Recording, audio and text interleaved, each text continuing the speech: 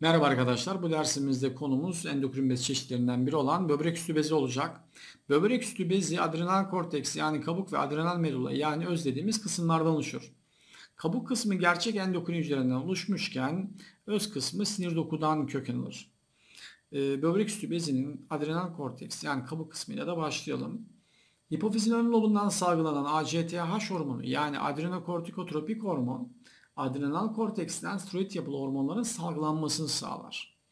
E, bu steroid yapılı hormonlar kortizol, aldosteron ve eşeysel hormonlar olan östrojen ve testosterondur.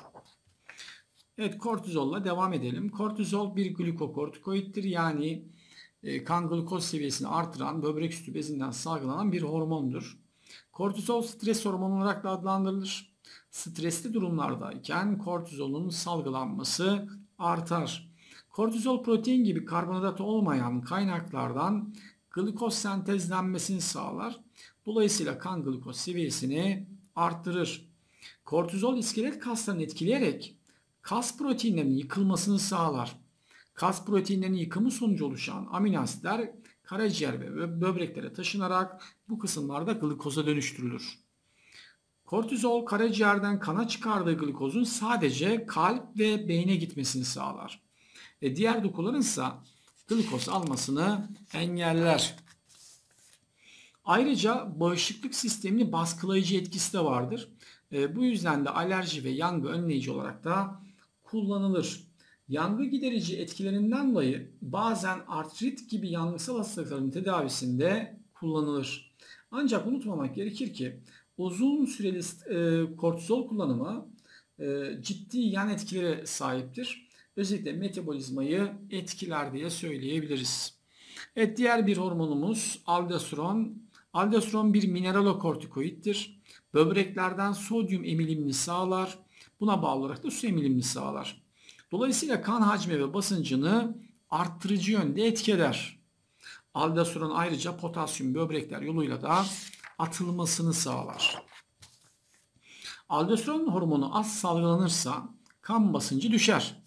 Doku sıvısı azalır. Kanda sodyum ve klor miktarı azalırken potasyum miktarı normalin üstüne çıkar. Kaslarda yorgunluk görülür. Deride pigment birikimi sonucu deride renk değişimi olur. E, bu duruma da Addison hastalığı adı verilir arkadaşlar. E, peki aldosteron hormonu çok salgılanırsa e, hangi durum ortaya çıkar? Aldosteronun çok salgılanması durumunda kandaki sodyum ve klor miktarı artar. Potasyum azalır. Kan hacmi ve basıncı artar. E, buna bağlı olarak da doku sıvısı miktarı artar. Ödem oluşur. E, su içme isteği artar ve e, buna bağlı olarak da ADH hormonu miktarı artacaktır. Evet gelelim adrenal korteksten salgılanan üçüncü e, hormon grubumuza yani eşeysel hormonlara. Adrenal korteksten testosteron e, salgılanır. Az miktarda da östrojen salgılanır. Adrenal korteksten salgılanan eşey hormonları işlevi çok iyi anlaşılamamıştır diyelim ve adrenal medullaya yani öz kısmına geçelim. Adrenal medulladan epinefrin yani adrenalin ve nörepinefrin yani nöradrenalin hormonları salgılanır. Heyecan, korku, aşırı sevinç ve soğukta kalma gibi durumlarda salgılanmaları artar. Epinefrin hormonunun e, kandaki miktarının artması sonucunda hangi etkiler ortaya çıkıyor onlara bir bakalım isterseniz. Karaciğer ve çizgili kaslarda glikojenlerin yıkımı artar. E, karaciğerden kana çok miktarda glikoz çıkar. Dikkat ederseniz e, bu hormonda e, yine kan glikoz seviyesini etkiliyor. Üstelik arttırma yönünde etkiliyor arkadaşlar. Kan basıncı artar, kalp atışları hızlanır ve solunum hızı da artar. Ee, yine ayrıca nörepinefrin bazı kan damarlarının daralmasını, epinefrin de iskelet kası, karaciğer, kalp gibi önemli kısımlarda damarların genişlemesini sağlayarak e, kanı e, karaciğer, kalp ve iskelet kası gibi önemli kısımlara yönlendirici etki yapar. Bunu da yine belirtmiş olalım. Evet kortizol ve aldosteron yani böbrek üstü bezinin korteksinden salgılanan hormonlar uzun süreli stresli etkilidirler. Böbrek bezinin öz kısmından salgılanan epinefrin ve nörepinefrin yani adrenalin ve nöradrenalin ise kısa süreli streste etkilidirler. Evet kan glikoz seviyesini etkeden hormonlarımıza da şöyle kısaca bir bakalım arkadaşlar.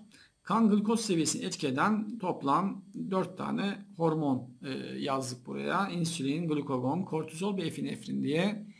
E, bunlardan insülin kan glikoz seviyesini azaltma yönünde etki ederken glukagon, kortizol ve epinefrin hormonları kan glikoz seviyesini arttırıcı yönde etki ederler.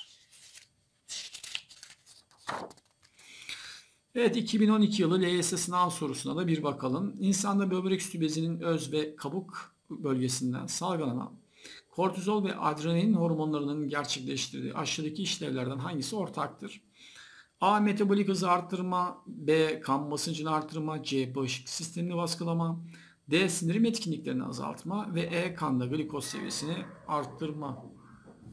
Arkadaşlar böbrek üstü bezin öz kısmından salgılanan e, epinefrin hormonunun kan glikoz düzeyini arttırdığını biraz önce de belirtmiştim. E, yine kabuk kısmından salgılanan kortizolda e, protein gibi karbonhidrat olmayan kaynaklardan glikoz sentezlenmesi sağlayarak kan glikoz seviyesini arttırma yönünde etki eder. Dolayısıyla da E şıkkı bizim için doğru yanıt. Evet bu dersimizde böbrek üstü bezi hormonlarını gördük. Bir sonraki dersimizde görüşmek üzere. Hoşçakalın.